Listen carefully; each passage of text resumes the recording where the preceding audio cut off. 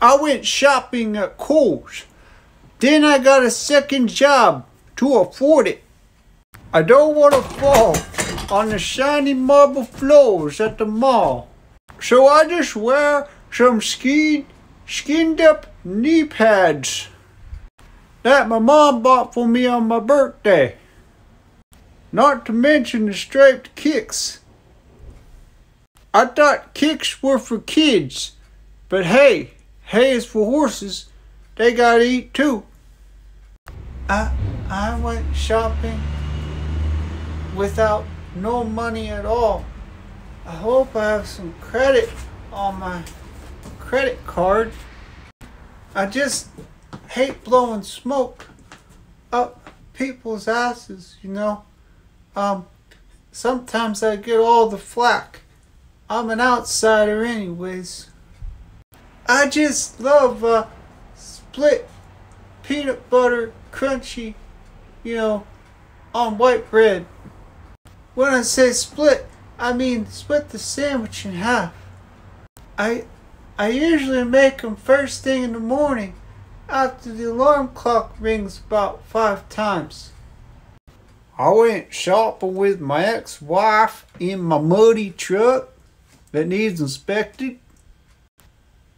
I forgot to wash it the other day. You didn't remind me. I was supposed to write my name in the mud to remember. But I'm kind of too cheap to buy that expensive sudsy car wash.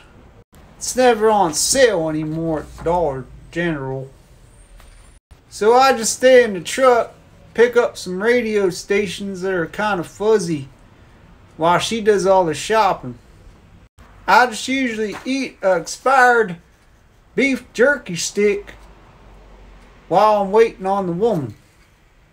But I usually have some beef stuck in my teeth that I can't get out and she gets back in the truck catches me.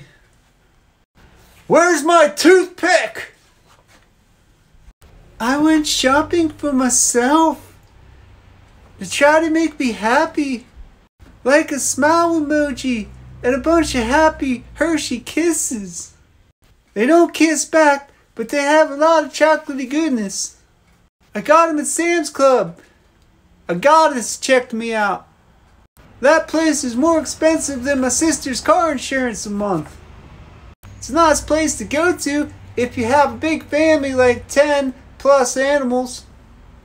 I love animal crackers. If you see a bag, grab them. They're in a pink bag. So